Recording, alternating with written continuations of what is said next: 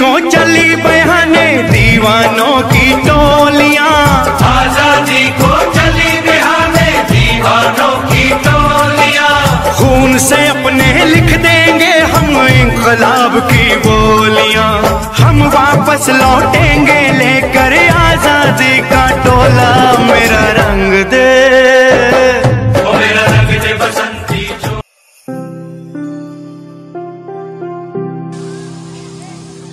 श्री अखिलेश मिश्रा जी, वन परिक्षेत्राधिकारी बैकुंठपुर की तरफ़ से स्वतंत्रता दिवस की हार्दिक शुभकामनाएँ।